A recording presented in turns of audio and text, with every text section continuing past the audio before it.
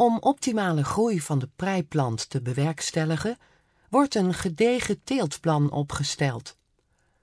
Daarvoor wordt de grond eerst zorgvuldig geanalyseerd om de best passende percelen en rassenkeuze te kunnen bepalen.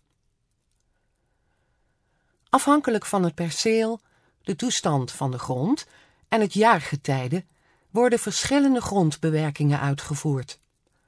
Met een diepwoeler wordt de grond losgemaakt